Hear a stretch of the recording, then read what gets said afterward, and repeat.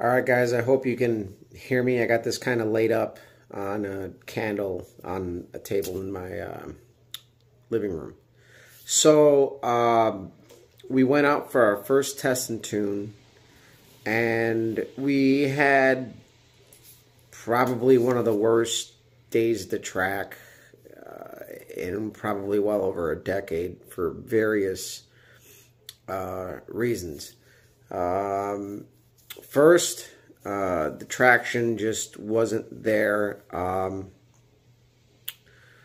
uh, just, I think my slicks are just done.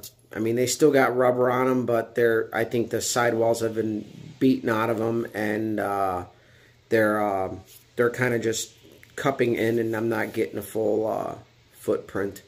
Uh, and in one of the pictures, you can actually kind of see that happening. Um, you know, we started the day off with about 15 pounds of air pressure in the slicks, which usually would work.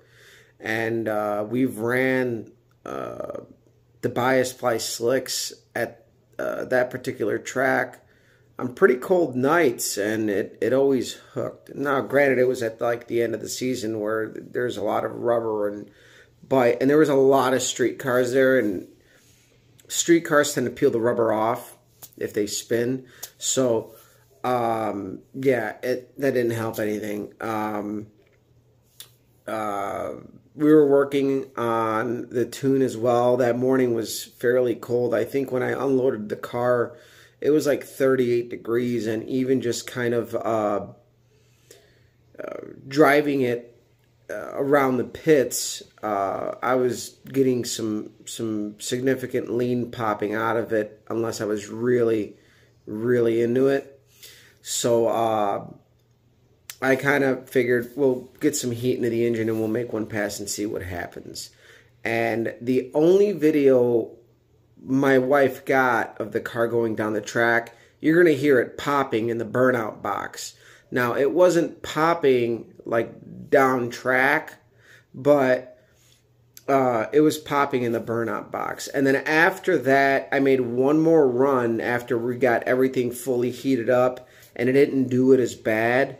But I still, uh, I jetted up. I went four jet sizes, and I ended up uh, opening up the headers, and it subsided for the most part.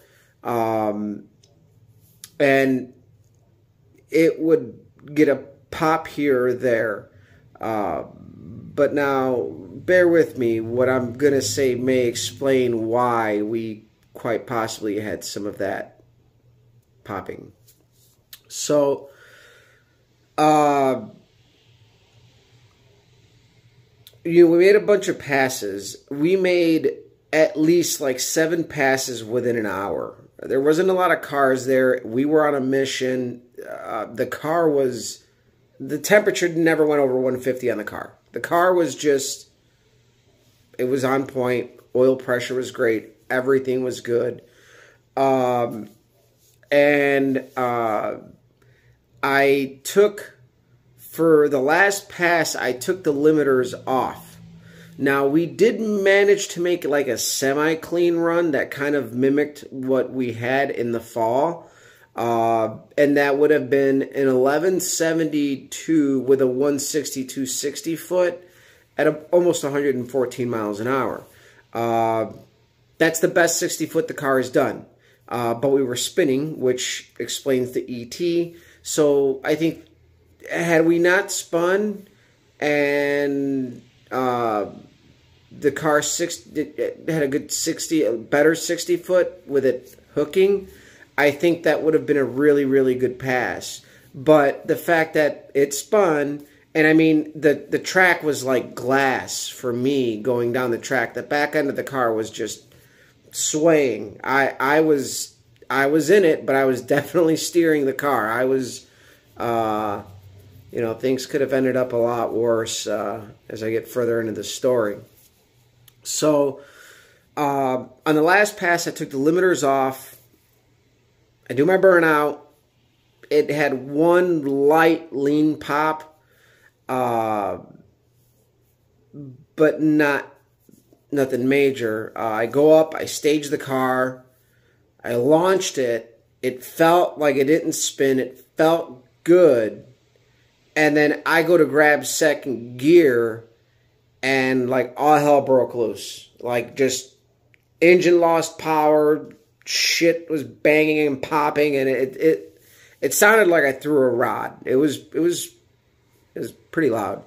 Uh, it was probably one of the loudest carb. It ultimately was just one massive carburetor backfire, and I do have to take the carburetor back off, just make sure we didn't bend throttle plates or anything like that. But uh, uh, essentially, what it was was one big carburetor backfire.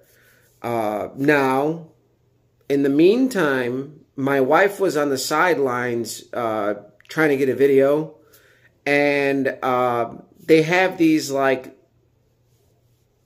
I call them podium blocks. They're not barricades, they're outside of the barricaded area. She was trying to stand on there, and when she was up there, she lost her footing and fell, and actually uh, got seriously hurt. Uh, she uh, broke her leg. I guess you'd call it her leg. There's uh, five or six fractures, and she's actually uh, getting surgery on Wednesday. Uh, now, this happened before I probably launched. I have no idea what's going on. At this point, I'm going down track. Car fucking breaks. I'm asking her, hey, fucking blew it up. In my mind, it's like, this thing's fucking dead. Uh, blew it up, and then she texts me back, I'm hurt pretty bad. And I'm like, what? So, uh, I where my car I managed to make it onto the return road and where the ambulance was was literally right next to my car. And one of the nurses or medics that was on site there that worked at the track uh, brought her down there. So we kind of you know i i actually walked uh, up to where my wife was, and then I got a ride back, and then I ended up uh, getting uh, my. Uh, well, they came down, picked me up. I had because it's it's like a half a mile walk between where my car was at the end of the track and where I was pitted. Uh, so I, they gave me a ride to grab my uh, suburban, you know, go down there with the trailer, and luckily I installed the the winch, um, and we were able to load it up. And then the medics and the people there, we loaded my wife up into the back of the suburban, and I ended up leaving the trailer and the car at a friend's place nearby. Got my wife to the hospital. As I told you, now she needs surgery on Wednesday. Uh, this morning, uh, as I've had some time off, uh, I woke up early. I wanted to put a car cover on the car because it's just sitting outside on the trailer. I talked with a friend last night, and we kind of agreed that if I'd thrown a rod or bent a valve or you know dropped the valve or whatever, I would be hearing all kinds of crazy shit going on, and that that's not the case. Uh, even if you threw a rod, the car would have still wanted to pop. Uh, so I got the car cover. Uh, I grabbed a couple of specific tools to help me uh, do a couple things. I grabbed my spare distributor. First thing I did was check for spark. We had spark, but it was backfiring out of the carb, like if it was 180 off. And one of the theories was that the pin in the distributor gear sheared off. So I popped the distributor cap off, and lo and behold, it's just spinning. It's it's doing nothing. So yeah, uh, I swapped the distributor base, put it all back together. Car fires right up, and oil pressure is good. Everything is good, but I am gonna have to go back and uh, oil change I don't know where that roll pin is. Hopefully, if, the drain plug magnet picks it up. at the, at this point, uh, the pickup isn't going to pick up a roll pin. Uh, I honestly think it, it ground it, it itself somehow because the uh, the opening in the shaft is actually wallered out and like worn out. Like it it the roll pin came out. It had to have, and it, that could have been throwing our timing off as well if the the shaft and the distributor gear weren't you know if they were just fucking moving around uh, that could have been another reason for a top end pop because when that roll pin let go it was on on the big you know on the higher rpm um, so but it was uh, the plugs were still reading lean after various passes. So we were we were working our way towards something that was on the richer side, but not too lean, and just didn't get to do it. But um, swap the base and uh, car fired up. It runs. Everything's good. So uh, you know, take this with a grain of salt. No matter how much planning you guys do, uh, just always kind of be prepared for the worst. Uh, it's probably, like I said, one of the worst track days I've had in a very, very long time.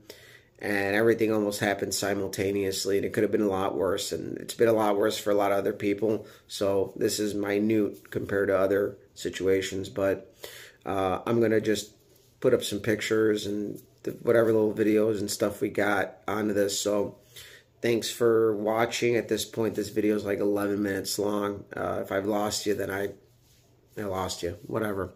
Uh, so uh, share, like, subscribe. Follow me on Instagram as Copper Cutlass, and I'll let you guys go.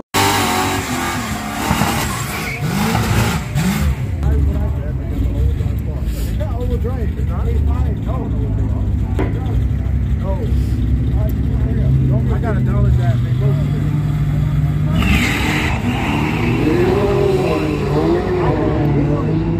Alright, look at that old Torpedo go.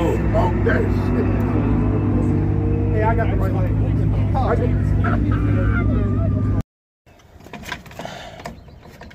And the winner is. What do you guys think the winner is, huh? Fucking A.